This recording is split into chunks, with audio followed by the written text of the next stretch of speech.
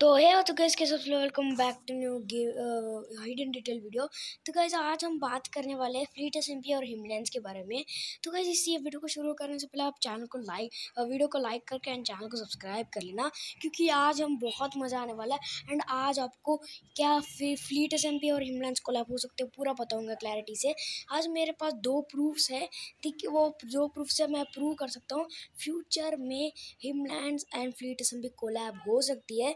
तो गाइज़ आपको वीडियो इन तक बने रहना क्योंकि बहुत मज़ा आने वाला है। एंड वीडियो को लाइक करके एंड चैनल को ज़रूर से सब्सक्राइब ज़रूर कर लेना। एंड गाइज़ आप आपको वो जो दो क्लिप है ना फ्लीटिसम की दिखाऊँगा और हिमलैंड की दिखाऊँगा।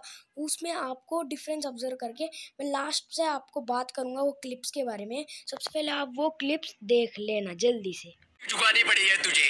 बिकॉज़ तूने अपने दोस्ती का इंसल्ट किया है भाई। ये दोस्ती जिसके लिए हम लोग रोए थे याद है?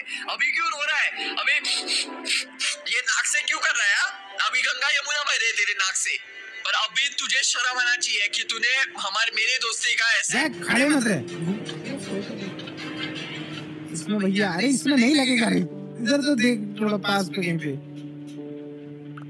ये बटन दबाने से क्या होगा नीचे है? माथा मार के देख ले उस पे तो ऐसे ये क्लिप को बहुत ध्यान से देखना क्योंकि इतना बड़ा हिडन डिटेल छुपा हुआ है तो अब देख लेना क्लैरिटी से। से ज़्यादा पाँच से सात सात मिनट के अंदर अंदर ये वाला जो हमारा असर है ना ये खत्म हो जाएगा। तो सात मिनट के अंदर अंदर मुझे बस यहाँ से अंदर पहुँचना है एंड पोर्टल के थ्रू जाना। मुझे लगता तो नहीं है कि ये लोग मुझे देख पाएँगे बट स्टिल मैं यहाँ पे चुप चुप के जाने वाला ऐसे करके ठीक है ना?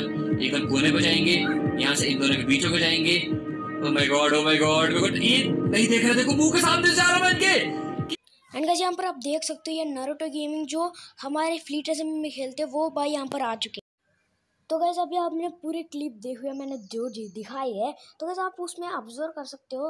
मैं हर एक क्लिप को आपको दिखा रहा हूँ। तो उसमें फ़र्स्ट क्लिप में क्या हुआ है जियो भाई जब फलाने जैसे बात कर रहे थे, अब मैंने बोला था वो प्लेस को ऑब्ज़र्व करो। तो वो प्लेस को ऑब्ज़र्व करने की आज मैं आपको और के फ्लीट पे क्लिप भी दिखाया था।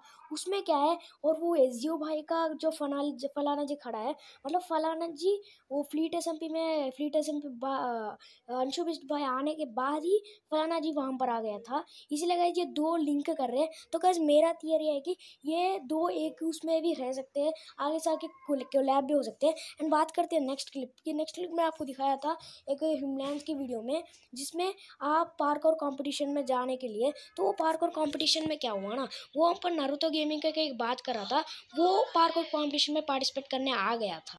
तो इस तरीके से मेरी थियरी है। एंड आप कमेंट करना, आपकी थियरी क्या है? आपके जो ओपिनियंस क्या है कमेंट कर लेना। तो बाय बाय